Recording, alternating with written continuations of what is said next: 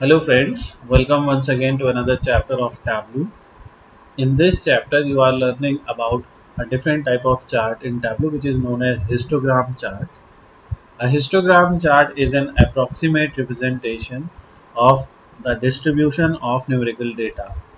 We have already uh, created another type of graph which represents distribution of numerical data and that is box and whisker plot but this graph does it a bit differently. A histogram is a graphical display of data using bars of different heights. A histogram looks like a bar chart but groups values for a continuous measure into ranges or bins. So if in Tableau terms you must have a continuous measure and histogram will tell you suppose a continuous measure has a range so it has a range between zero dollars and up and fifty dollars. Let's say let's consider this example here. So here on x-axis uh, we have total bill. So this is the total bill of a restaurant. Let's say there are 250 values of total bill. Some total bill values are of one dollar or two dollar. Some total bill value so here here the values are of one dollar or two dollar. In this case you can see five dollars it is written here. So total value of five dollars. So we have one value of five dollars total bill. We have one value of fifty dollars total bill. But if you will consider this bar here let's shade this. If you will consider this bar here so this bar here has a value of if if you will consider this uh, if you will join the top here so it's around 33 so it's let's say the value here is 17 dollars let's consider this. So total bill of 17 dollars was there in 33 cases out of 250 this is uh, data of 250 total bills and out of 250 total bills in 33 cases the bill amount was somewhere between let's say $16 to $18 so let's consider it 17 so in 33 cases the total bill was of $17 and similarly here also you can see let's say the total bill here is $22 so in approximately 22 cases the total bill was $22 so the histogram is a plot between a continuous variable and count of values. And the data is divided into different uh, ranges or parts which are also known as bins here. So the range starts from minimum value of total bill to maximum value of total bill. And as you can see both minimum and maximum value of total bill have one value each. And maximum and most number of bills were in between $11 and let's say 22 or $23 the most number of bills were in between 20 uh, were in between $11 and $23 some bills were also in the range of this is four bills you can say because this this line represents five. So four bills were in the range of 38 and 40 dollars and so on. This is how you read this type of data. And let's once again to create this type of data let me get another sheet here to create this type of data what you have to do is you have to consider a total you have to consider a continuous measure here. So the continuous measure here is this total bill. So drag it to the columns. This will again show you sum of total bill. We have we don't have to drag anything here. What we are going to do here is from this show me uh, this is this will basically give you all the available graphs here.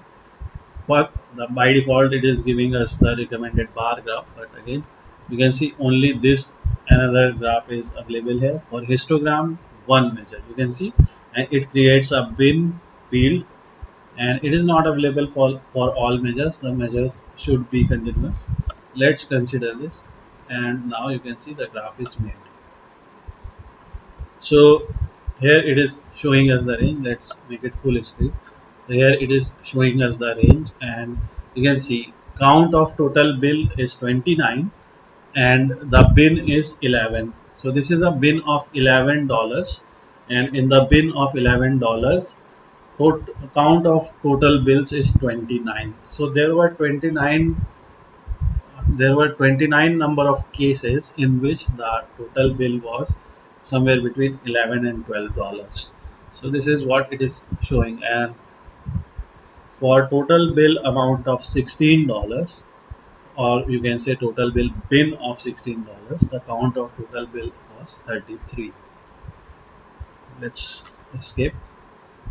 Again what you can do here is you can change another color for this. By default it is blue. You can change green or whatever you want to choose. Let's choose this. And one interesting thing is uh, there here you can see uh, let me drag this down here.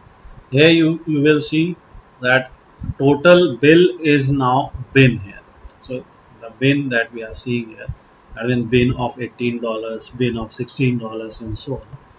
Total bill uh, there is bin and you can edit it. You can edit in shelf. So you can do it you can create some calculated field here or you can do one more thing or you can see here that uh, in your tables now we have a new uh, column here which is total bill. So you can right click it and you can click on edit. You can see the size of each bin here is 2.22 dollars. So every bin represent 2.22 dollars there are one two three let's say there are n number of bins every bin represents 2.22 dollars. And minimum value of minimum uh, value of total bill is 3.07 and uh, maximum value of total bill is 50.81 the difference is 47.74 and count is 229 you can also choose different value for bin. Let's create bin of five dollars each. So now we have bins of five dollar each. So it is now a bit easy to read the data. Between 0 to 5 dollars there were total, there was one bill between 0 to 5 dollars between $5 to $10 uh, total number of bills were 16 between $10 and $15 uh, there were 63 total bills between $15 and $20 there were 67 such bills. So you can see most number in this case when we have changed the bin size so in this case uh, the count of total bill was 67 so this is how we can draw a histogram. Let's go back to the basic. There is one more thing that you can do. If you have categorical value, uh, values here let's say we have gender here and we want to see distribution of data for both genders that are available in this data set. In this data set we have either male or female uh, people giving the tip and let's drag it and let's drag it to the colors. So now you can see by default the data is now divided into two parts. This is distribution for male and this is distribution for female as you can see here in these bins uh, we can say uh, these there were total two bills between uh, zero dollar and five dollar and both of those bills were given by female candidates. here you can see the maximum bill so the total bill bin is 49 so between 49 and 52 dollars there was only one bill and it was given by a male candidate. So this this can be analyzed with this also. Total in this bin which is of $16 so the range is between 16 to 18.2 dollars. So between 16 and 18.2 dollars there were total 16 bills that were handled by or that were uh, given by female candidates. And in the same range there were 17 bills given by male candidates. So you can analyze this data. Let's uh, undo this and let's drag a smoker here. So now you will see the data for smokers also. Suppose you want to see whether maximum bills maximum amount of bills were between in dinner or lunch time so you can drag this also. So as you can see here the the length of these bars is longer in case of dinner which simply uh, concludes that more number of bills were there in case of dinner. So again this is a very simple example of total bill and tips and so on.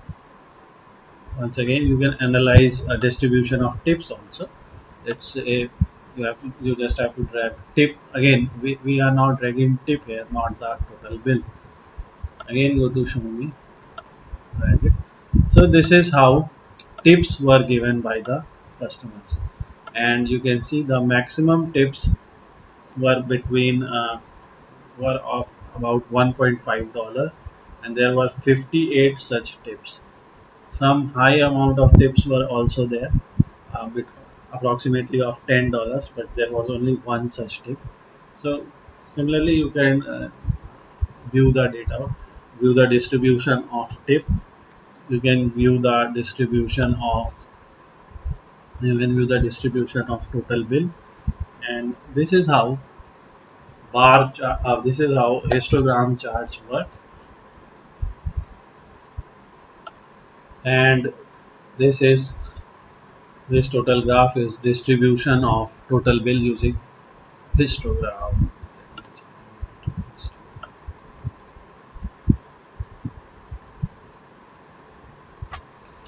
again uh, I will I will do uh, or I will make some more exploratory data analysis videos on some other data sets other than this tips dataset and the superstore dataset.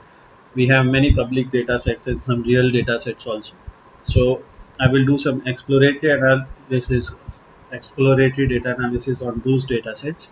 And as I said, histogram is a very common way of analyzing or exploring data. So we will use histogram in other examples also. This is just a simple discussion and explanation of what histogram does and why is it used. See you in other videos. Thank you for watching.